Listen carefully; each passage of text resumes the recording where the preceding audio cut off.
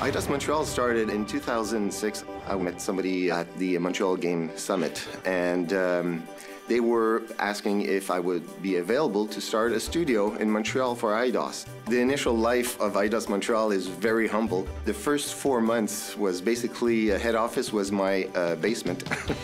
and uh, here we are, uh, just over three years after, and we're 330 right now, and uh, growing.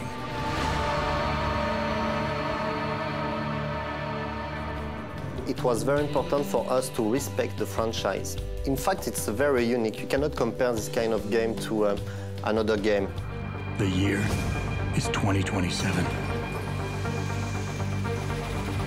It's a time of great innovation. And technological advancement.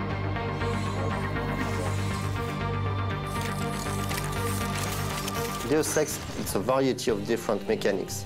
Uh, by that, I mean it's part combat, it's part social, it's part hacking, and it's part stealth for the combat. You will have to observe, planify, and act. For the social aspect of the game, when you will meet a story character, you will have to pass through different rounds with him to obtain information. For the hacking, you will have to hack a network and find information about your missions, about the, the, the universe. And for the stealth, you will use the environments to hide. Deus Ex Human Revolution is the first game of the studio, uh, so we built everything from scratch. When you start a studio, you need to concentrate your effort to create a really long-term business relationship with solid partners. And we wanted to be sure that we use a modern pipeline, in fact, to support our ambitions and make sure that the artist can uh, use the, the, full potential of their software. At Eidos Montreal, we do use uh, several tools uh, that are from uh, Autodesk. 3ds Max, Maya, and Motion Builder are used presently in development for Deus Ex. The main character rig is done always in Maya. Motion Builder is used because we have a lot of mocap. With Motion Builder, it's easier to treat that mocap, to clean the mocap, to get all of that into the game. And uh, we started to integrate 3ds Max in the pipeline as well because there were some of us which were more comfortable using uh, 3ds Max.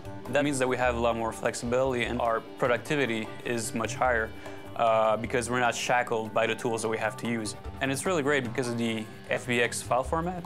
We can actually um, easily go between the different software and we're not constrained, you know, as far as the tools that we use. And since our game took about uh, three years to make, the softwares do evolve within that time.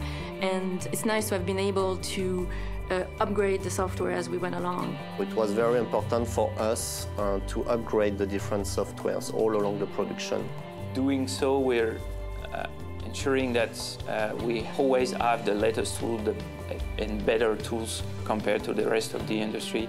The time that it takes us to do a model, let's say today, takes much less time than it did back in, let's say, 2007, 2008, because uh, there were new tools that were released with each subsequent versions that just made our workflow that much simpler. You know, like the graphite tools was released with Max 2010.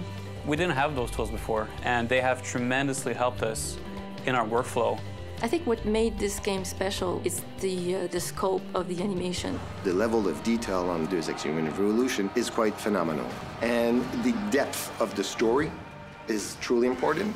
People will have the interest to discover, to explore. This is exactly the experience that we want to give. And so Deus Ex is really uh, incredible.